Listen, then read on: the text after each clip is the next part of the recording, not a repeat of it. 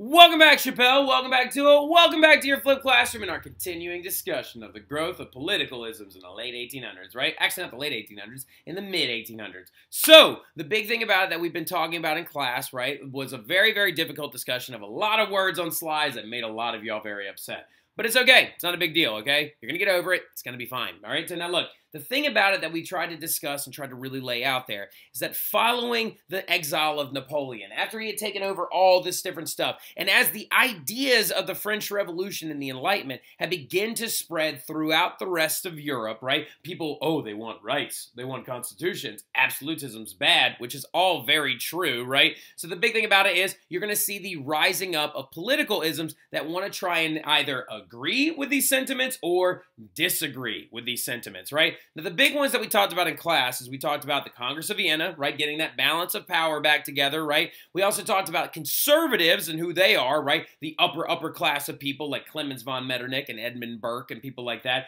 who are going to try and be like, no, absolutism is the way to go. You don't know what you need. You don't know what you want. Let's keep power in the upper classes. And then also we talked about classical liberals, right? Now, classical in like parentheses because liberals today would not be considered classical liberals. Classical liberals today would actually be considered more of a conservative mindset, right? Now, the goals of classical liberals, of course, were the exact opposite of the, well, not the exact opposite, but kind of in the middle between conservatives and this third group that we'll actually talk about, right? The goals of classical liberals included growing that industrial revolution, laissez faire economics, no absolutist government, constitutions that protect the rights of all men and stuff like that, giving people the right to vote some people anyway, right? So like, and then also expanding legislative bodies, growing wealth of society, and they represent mainly the middle class, right? The growing bourgeois and stuff like that. Or you could also argue the growing industrial middle class. They are big time classical liberals, right? Now the third and final like like one, which you may have to pause this and actually finish writing it because I'm gonna move through it pretty quick.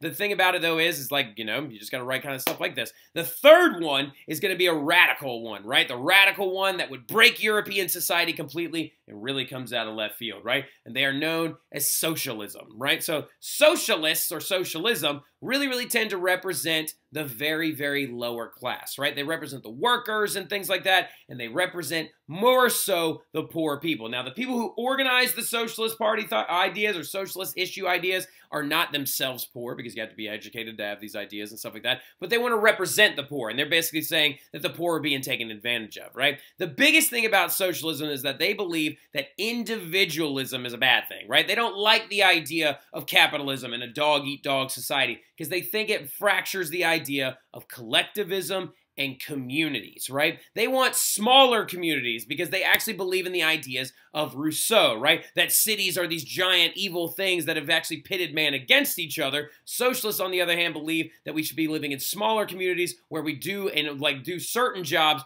to benefit the larger goal of all of us rather than just me and you, right? So it's the idea of that community idea. Now, socialism would eventually evolve later on into this thing. Well, not evolve completely, but some socialists would break away and then found things like communism, this being Karl Marx, the father of communism and stuff like that. So the thing about it, though, as well, is for socialism to work, it also requires universal suffrage, right? Suffrage right here. You see this word right here, suffrage? If you need to write this down, go ahead and write this down. But what suffrage is, it is the right to vote, right? So the socialists believe that everyone should get the right to vote, not a select few people. They also believe that kings are bad, period, right? None of those. We want legislative bodies in charge, people like parliaments. They also advocate for planned economies. So the government basically will sell certain items to people at a fixed price, right? So for example, they believe that the price of bread should never fluctuate with the market because some people will not be able to afford it, leading to starvation, illnesses or the act, like the expectation of possibly early death, right? They believe that competition is a bad thing, so they think capitalism is a bad thing. They also though believe though in natural rights except the property one, right? They like life, they like liberty, but they think property is going to lead to us competing against one another and trying to have more than the other guy, right? So the other thing about it is they want to redistribute wealth and goods. Who likes this idea? The industrial lower class, lower end of the middle class, but there are also a lot of types of socialists. There are utopian socialists, communists, and a lot of other people that we'll talk about a little bit later on, right? Now, the thing about it is that all these new politicalisms and all these new ideas is going to lead to a lot of really intense things that are going to go down in Europe in the next handful of years, right? No less than 30 or about 33 years, 33 years after the second time Napoleon gets exiled out of like Europe and stuff like that there's going to be a wave of revolutions that sweeps over the entire continent, right? So it's really, really insane to think about the fact that the French Revolution was that effective of a thing because it caused chaos and nation building in Europe starting around 1848, right? Well, the reason why is like Europe, what have you been up to in all this time? In those 33 years since Napoleon was exiled, since all those wars swept over the continent, since the British have been industrialized and stuff like that, what have you been up to? Well, it depends on who you ask, right? So something that you need to understand completely is that industrialism is beginning to sweep the continent and change everything all over Europe, including the fact that it's taking your entire society from being agrarian like this and where most people worked on farms to actually turning it into something more like this, right? Into the production of factories and the production of iron and the smelting process and now growing into big issues including urbanization, pollution and the growth of cities that is now going unchecked, right? So we're now seeing a massive change in the European thought process, right? And the years of 1815 to 1848 are also referred to as the Age of Metternich. Now, Metternich is this guy from Austria that if you are in an academic class, you don't need to know about as much. My honors kids talk about him a lot, though, okay? His name was Clemens von Metternich, though, right? And Clemens von Metternich is the guy that was like the socialist superhero who ran the Congress of Vienna.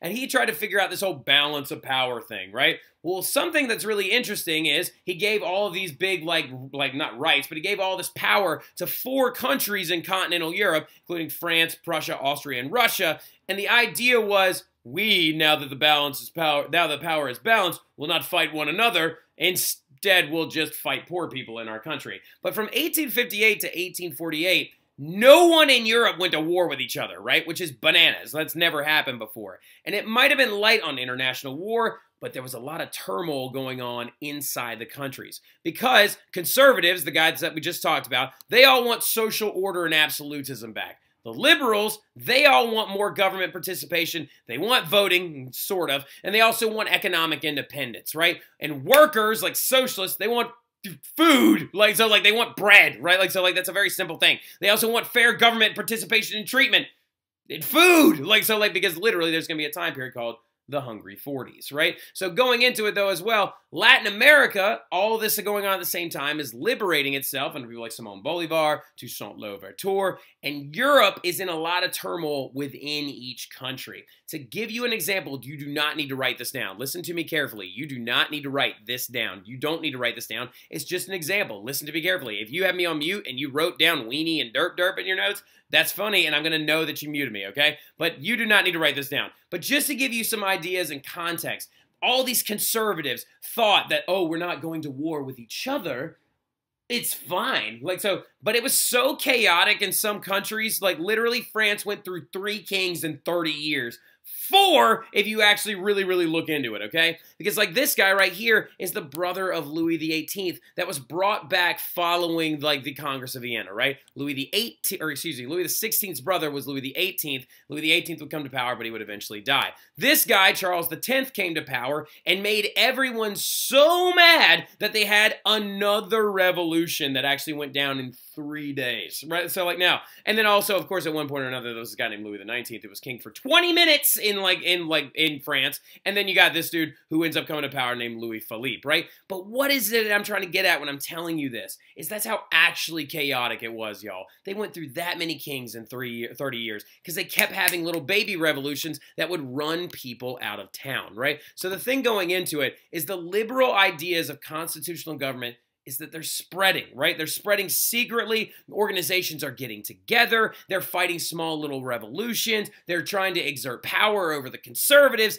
things are really unstable, right? And another big thing about it as well is that revolts are going on all over the place, right? Now, this you need right here, okay? This you need. So the thing about it is take the ideas of a liberal constitutional government, not an absolutist one, getting rid of absolute governments, right? Take that idea of a liberal constitutional government, the ideas of John Locke, Baron de Montesquieu, and all these other Enlightenment thinkers that the French Revolution espoused and demonstrated Take that and start spreading it secretly throughout the continent, right? And then have your absolutists who are still trying to control these people who want parliaments and voting and rights and things like that of course revolts are going to break out, right? Some of the big ones included one known as Peterloo. There was a Decemberist revolt that broke out in Russia, and another big one called the Three Glorious Days. The Peterloo one literally was held in England, and it was protesting failing laws that were giving rich people more money and starving poor people of money to buy food with. And so literally a cavalry came in and killed a woman and her child and 15 other people. The Decemberist one happened in Russia when literally the military was like, I don't want to fight for this new king, and the other group of the military shot all of them, right?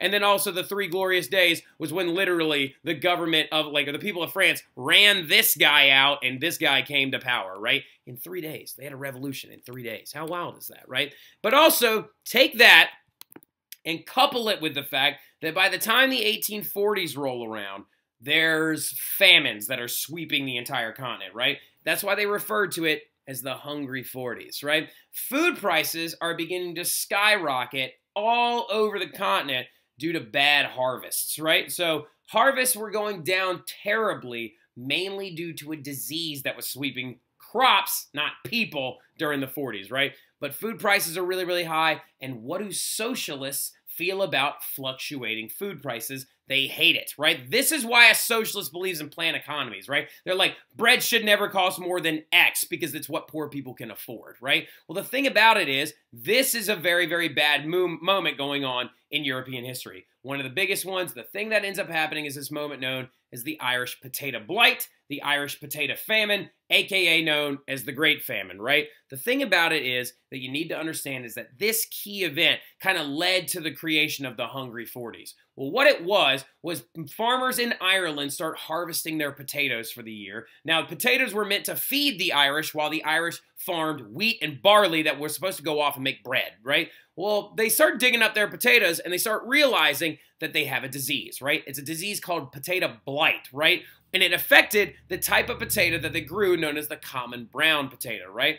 Why did this happen? A lot of it had to do with that mass production farming. Farmers were, like, Irish farmers were being used to grow grain and then fed potatoes. Well, why the potato, though? Because populations were growing heavily in Ireland and potatoes were really easy to grow. But the third reason why the Great Famine happened is because of monoculture issues, right? They weren't growing a variety of potatoes, they were growing one type of potato, the common brown one. So if a disease comes through that affects that one brown one, what happens to all the food the Irish people are supposed to eat? It's all dead. Literally, the Incans farmed thousands of types of potatoes. So if a disease came through and affected one, they still had several hundred other potatoes they could eat. It's not a big deal, right?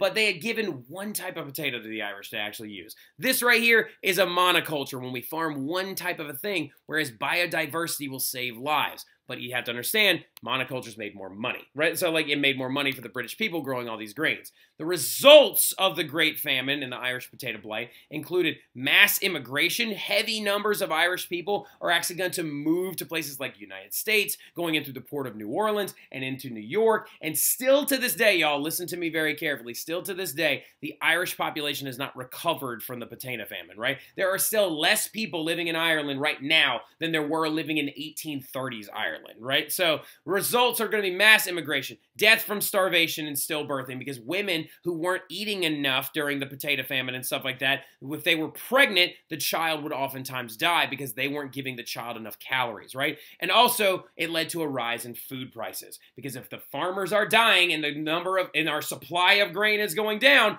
the price of the bread is going up, right? So you're seeing bread riots and things like that break out all over the continent. What this is going to lead to, this terrible situations, including the Hungry 40s, is going to lead to this thing, these things known as the revolutions of 1848, right? The revolutions of 1848 was a series of dramatic and violent revolutions that broke out all over Europe demanding reform because people are sick and tired of this garbage. While the conservatives sit around like Clemens von Metternich and like, oh, we haven't gone to war with each other in a little while. Shut up, poor person. And literally are suppressing all these violent revolts and stuff like that. What finally happens is that the citizens of cities get together and they're like, we're going to hold revolutions that they can't stop, right? And it was known as the springtime of the peoples, right? Because the classical liberals and the socialists are going to get together and hold a revolution against the conservatives, and it will sweep the entire continent.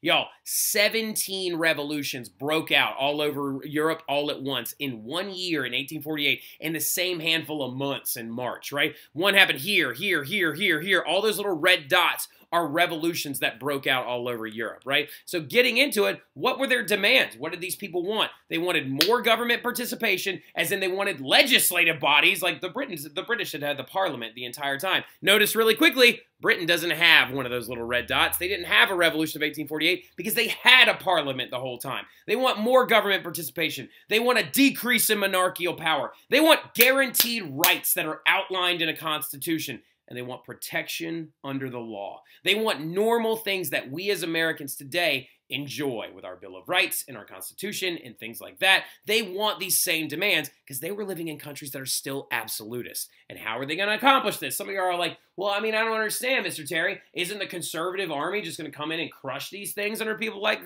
Clemens von Metternich? I like where your head's at, and you would be right.